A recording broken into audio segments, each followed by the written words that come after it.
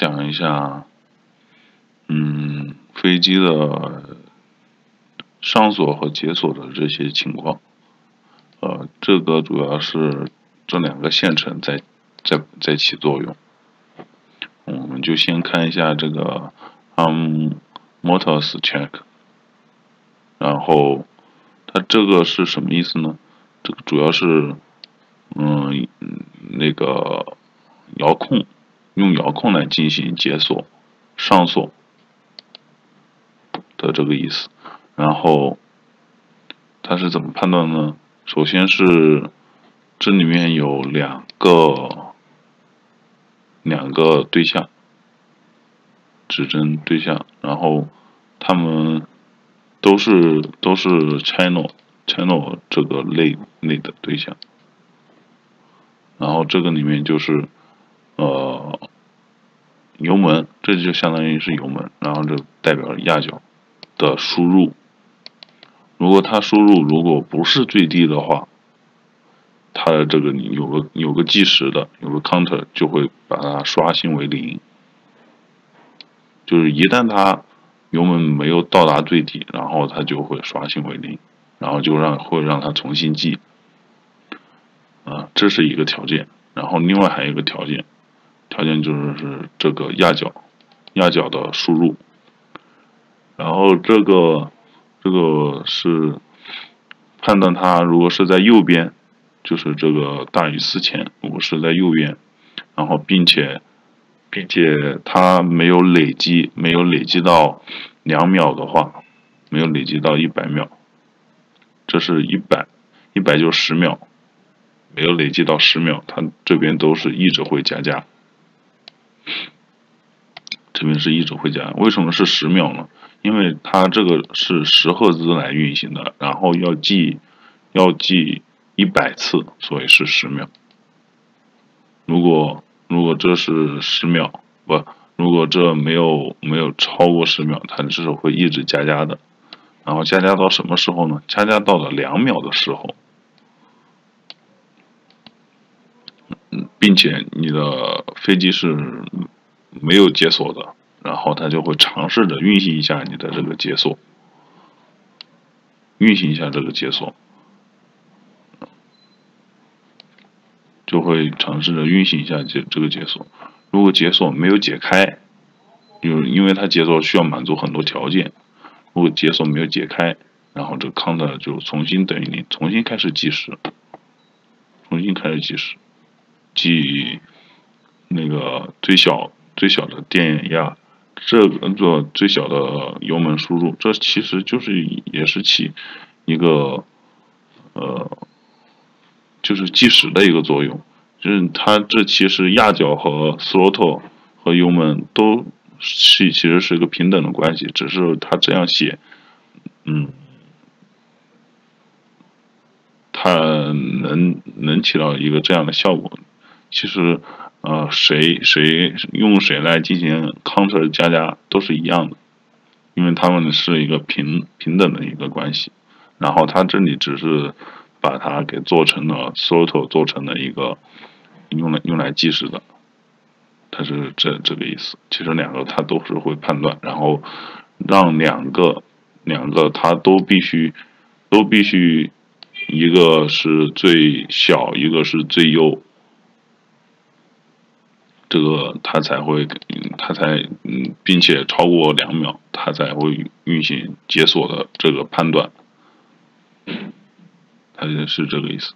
然后让它如果是十秒的话，如果是已经解了、已经解锁了的话，你看它这是已经解锁了，然后并且这个解锁是 stabilize 的话，然后就会让这个等于二百五十。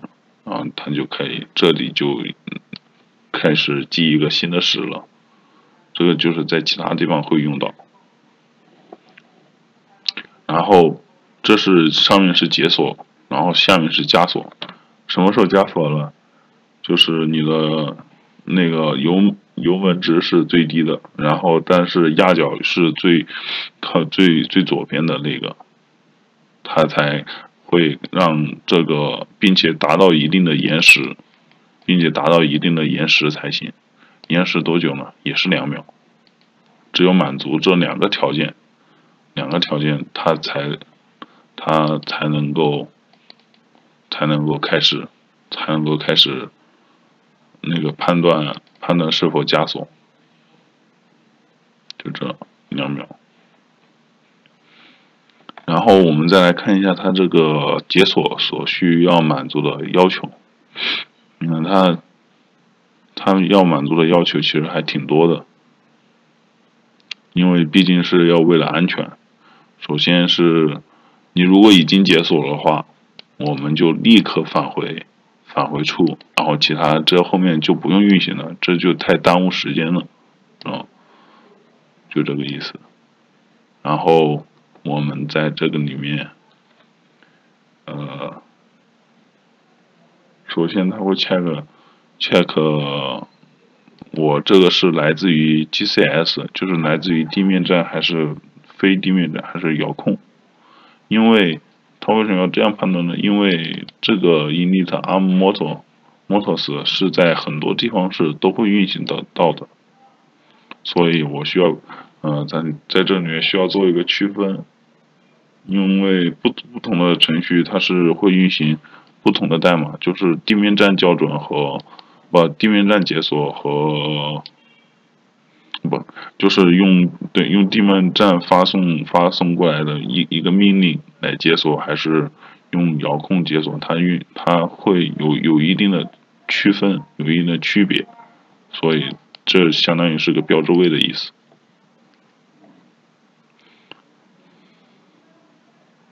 嗯，然后这就做一个，如果没有解锁成功，如果没有如果没有 pass 的，没有解锁成功，他会怎么样？响一声，这个事件就会触发，这是 notify 里面里面的。然后，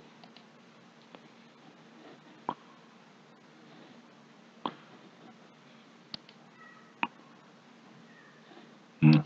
这里面主这这个里面主要是它了，它和它会起作用。这个这个就是它了。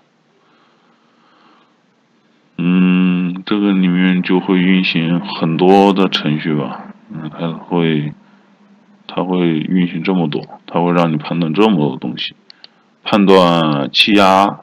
的检查，RC 是否校准，Compass 的一个检查，GCS 的一个检查，那个，嗯，这个是电子围栏的一个检查，嗯，INS 传感器的一个检查，就是惯性惯性传感器，呃，电压的一个检查，log 的一个检查，参数的一个检查，呃，电机的一个检查，油门的一个检查，它会检查这么多东西。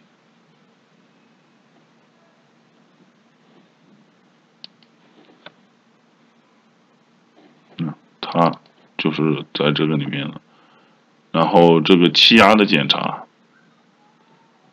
就是运看你的一些高度啊，怎么什么什么样的，这个就是根据每个的特性，每个的特性来来制定的一个检查的方方法的。这个因为太多了，嗯，我就就大体讲一下，它需要要做这些检查。每个检查它怎么检查，大家就自己看。然后这个是解锁前的一个检查，还有解锁的一个检查。解锁的一个检查也是，你看它会检查什么？呃，加速度是否健康？加速度是否健康？然后这会 get 一个。把它的一个 healthy 会 get 过来，然后次那个陀螺仪是否健康，然后 EKF 姿态是否健康，就是也需要检查。这个分别都是在其他地方运已已经运行的，它在这只是获取它的这个标志位而已。这个标志位是在哪置位的呢？是在。肯定是在 INS 里面的，INS 里面置置位的，就在这个里面，这个里面，这个程序里面置位的，到时候就去找他。呃，比如我这举个例子啊，我这举个例子，它就是在各自的那些程序里面，它是来来运行的，啊，就是来置标志位的。然后它这只是只是只是给你在其他地方已经置位了，然后在这里只是给你呃把这个标志给你而已。怎么怎么判断的？怎么怎么怎么置位的都是在各自的程序里面，就是它是以这种方式来来进行逻辑判断的。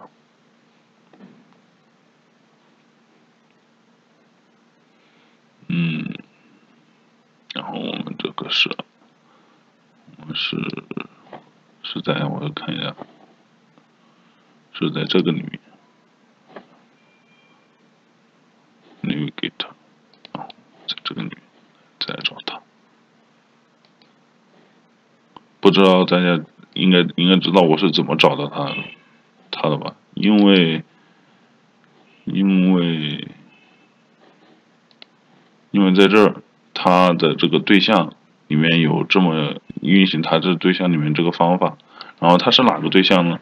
他是这个对象，这个对象，这个对象，然后就这个里面我们已经找到他了，但是直接跳跳不过去，直接跳是跳不过去的。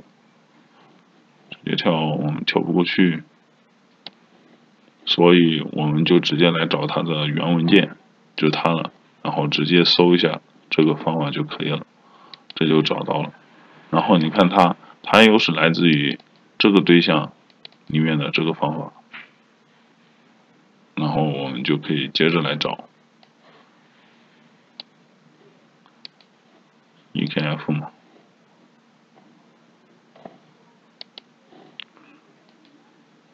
你就可以来找他，再找他。呃，这个我们就不找了，大家就告诉这个，告诉大家这个方法就可以了，自己大家可以自己下去再找。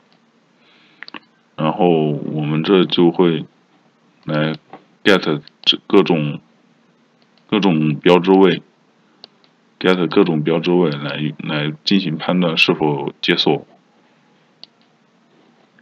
然后这是姿态的 EKF，然后 A A H R S 是否健康，Converse 是否健康，然后是否是正在校准 Converse，是否需要重启等等等等等等，它都会进，它都会判断这么这么些东西。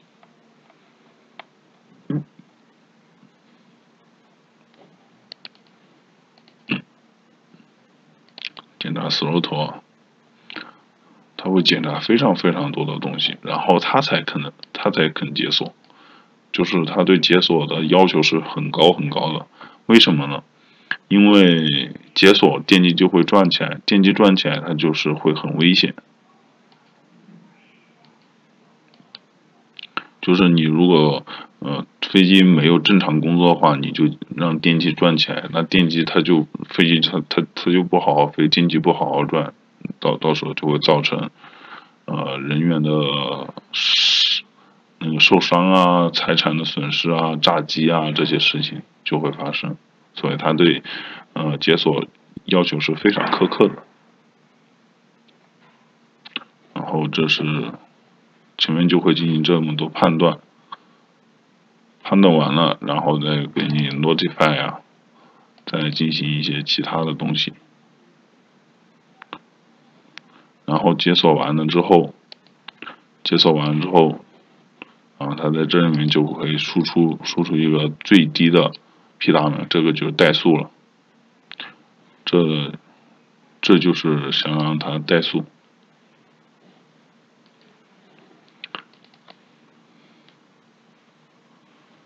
然后这个看一下这个 motor，这个就是这里面有个 enable，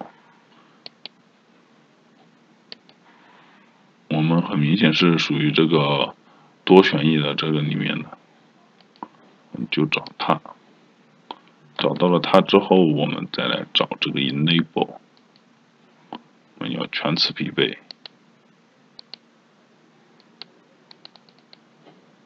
嗯，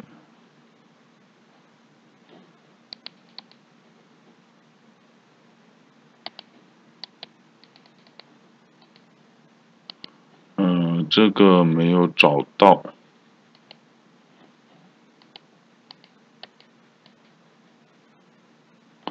我们这个没有找到，我们就去找它的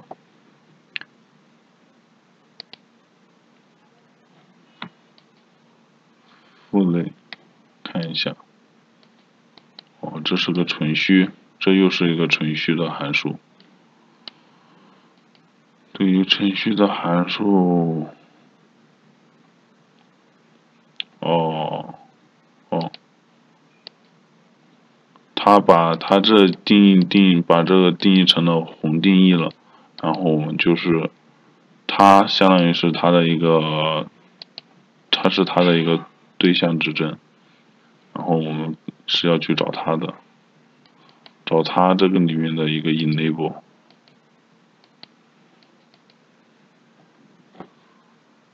如果它没有，我们就要去找它的子类。嗯这个我就有点麻烦了，我们就要先去找到找到这个 a p m o t o s 我们就去找它的子类，就找它，找这个的子类，看它子类，看的看它是继承于它的，嗯，就是它是继承于它的，就是这一个这一个继承于这一个。然后看它的子类有没有这个 enable，好，子类有这个 enable，我们就去看这子类，相当于是我们在我们在在这个里面，在这个里面，我在这个 in 这个里面运行到的这个 enable 就是这个里面的这个 enable 了。呃然后它这是十二个，十二个，然后是否每一个都是使人的？这就是使人使人对应对应的电机的意思了。这是十二个嘛？然后哪一个使人，哪一个是不使人的？然后这都会有一个判断。然后之后使人使人之后，它就会运行这个 map。然后来适应使能对应的通道。如果你是四选一的，那肯定有八个，它就是不不能使能的，八个电机是不能使能的，就这个意思。然后这是使能对应的电机，然后这是让对应的电机输出最小的 PWM，也就是它的代速了。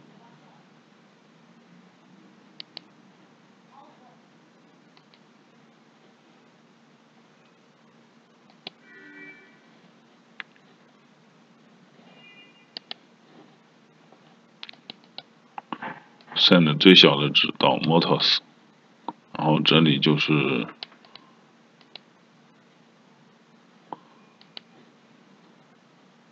等于它，让它期望的值等于它，然后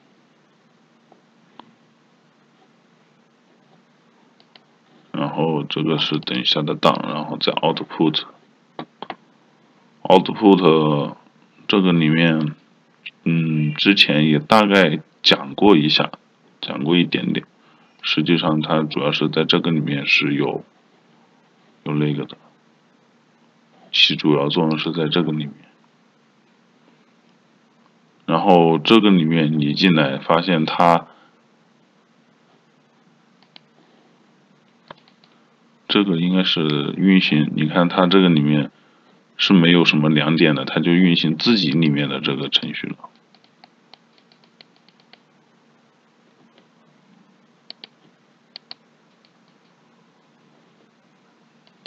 这个没有的话，我们就要去找一下它的子类了，就是就是再去找一下他的子类嗯。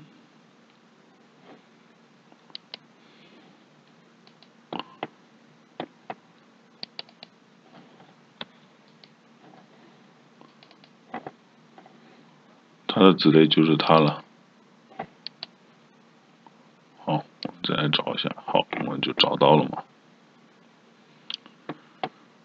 这个就是上节课，上节课讲了，上节课讲了这个大概的这个输出，输出，然后怎么输出。我们这还是针对于解锁和上锁，我们就这就相当于是输出一个最小的怠速了。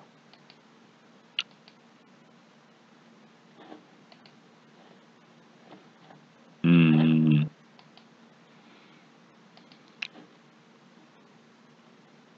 这里就开始输出了，输出一个最小的速速度，然后这个解锁的过程就相当于完了，完成了，然后。上锁的这个过程也是差不多的，这就上锁嘛。上锁什么时候上锁呢？上锁它会在初始化它。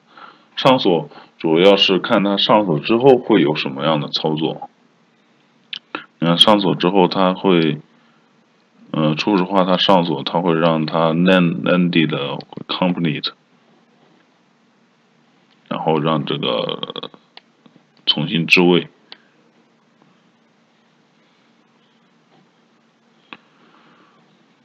上锁，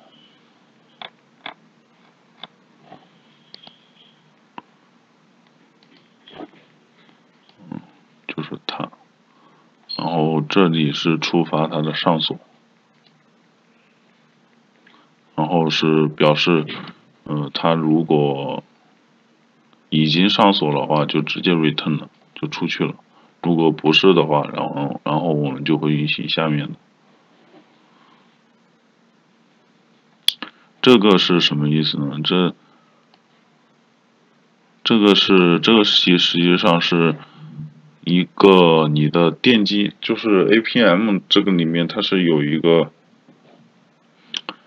有一个地磁，就是你电机转起来之后，它是电机就会有比较大的电流，电比较大的电流就会产生磁场，然后这个是。一些关于你的那个词的一一个记忆的，就是关于你记忆词，就是电机转起来之后，你的那个磁场，就是通过它来来进行一个记忆的，就是这大概就是这部分的程序了，然后再让你想一下对应的，就是参数、参数啊什么的。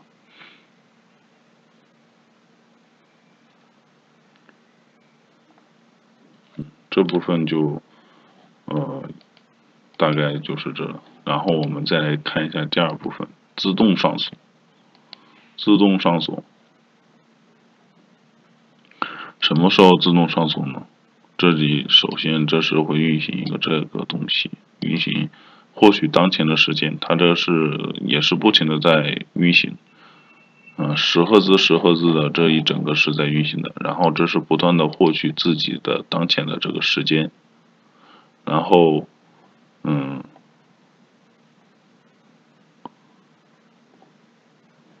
如果如果如果是上锁没有使能的话，然后这个上锁的这个 begin 就一直等于当前的这个时间，就是。它那它这肯定就是还会加一段延时，就是等一段延时之后，它才会触发它的上锁，这个就是这个作用了，就是把它付给他，他在什么时候付给他呢？就是满足这个条件的时候，然后这个是直升机的，我们就不用看了，这也是直升机了，也不用看了。然后这是，嗯，就是一个判断，这个判断是我们一直都会运行的。然后如果是直升机的话，我们就我们就这样，就让它直接出一个二 delay 就完了。如果不是直升机，我我们我们它不是直升机，我们是多旋翼，所以这一部分是会运行的。然后它怎么是什么时候它是怎么运行的呢？嗯。这个就是那个呃，stick，它这个就是把你的油油门的那个杆杆的姿姿势给记录下来，是是不是最低，或者是是什么意思？就是把你的杆的那个状态，你的 behavior，你的行为杆的那个行为给记录下来，等于它。如果如果它是手动模式，并且不是这样的话，然后他就让他就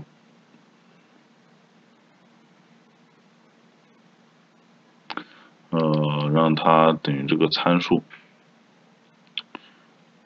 这是干什么？这个主要是呃因呃这个也是我现现现看的。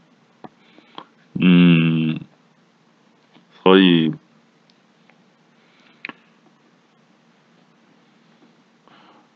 这部分其实也不用深深刻的，也不用特别的去理解它。呃，看看程序就是要看他想想干嘛，想得到一个什么样的东西。像在这里面，他做这么些东西，都是为了让他让让他得到一个比较低的一个。呃，油那个油油门，然后再判断这个油门，嗯，再接着就可以来判断这个，来来得到这个 begin，通过这个 begin 来做一些事情，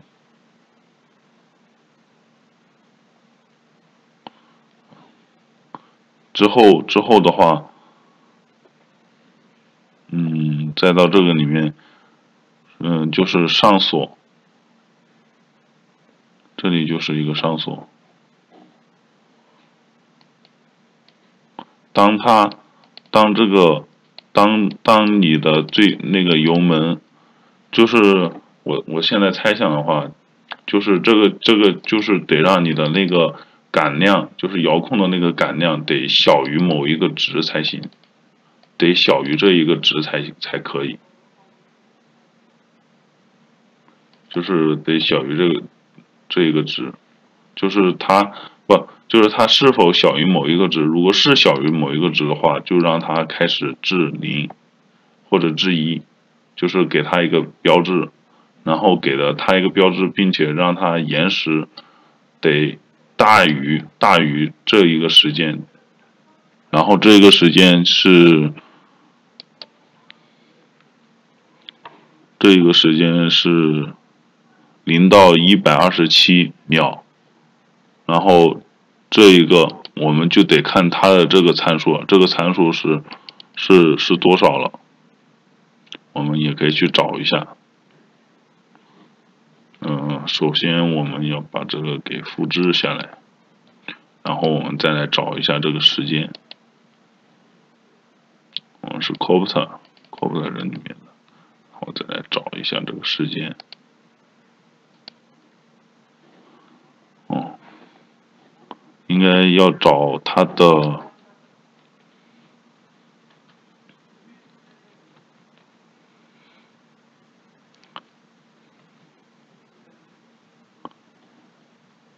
找这个，啊，这个就是它的时间了，延时的时间，就是它。就是这一个十秒，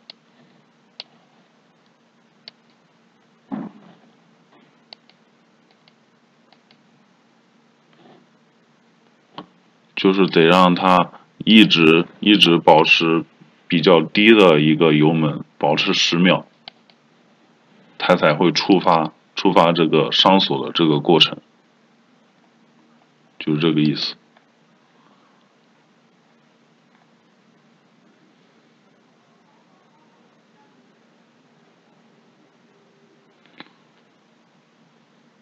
这前面就是让它记录记录一个，就是油门的一个感量，让让它是判断它是否是比较低，然后在比较低的情况下，要超过十秒，然后它才会触发自动上锁，它就这个意思了。